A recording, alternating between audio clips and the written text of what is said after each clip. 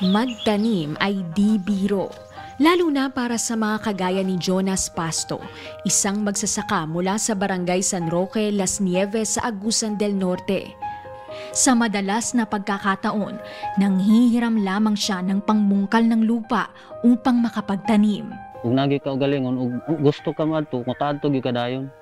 Mga ginay. Lahi ron sa kanang manghulam ka magpaabot pa man kag unsang wala na to ugay bakante siya. Mga dako dako gyud tabang ning kuan.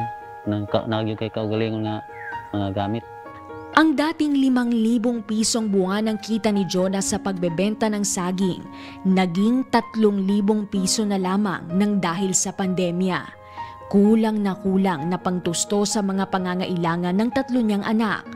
Kaya anya, sa halip na bumili ng mga gamit sa bukid, ay mas inuuna niya ang pang-araw-araw na pagkain ng kanilang pamilya.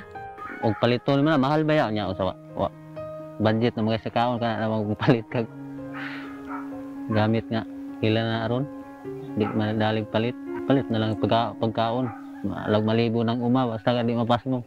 Walang paglagyan ang ligaya ni Jonas nang pagkalooban siya ng Members Church of God International ng mga gamit sa pagtatanim. Salamat sa NCGI nga naabot sila diri ah, nga naghatag og g- gamayng ayuda pero gamay pero sa mga dako na ng tabang. Si Jonas ay isa lamang sa tatlumpung mga magsasaka mula sa Barangay San Roque na pinagkalooban ng ilang gamit sa bukid. Gayon din ng mga binhi ng gulay na karagdagang mapagkukunan ng kanilang kita.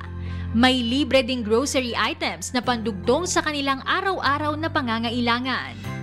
Isang simpleng kahilingan, kapalit ay lubos na kagalakan. Lakip ang pag-asa at determinasyong mapagyaman ang kabuhayan para sa pamilya.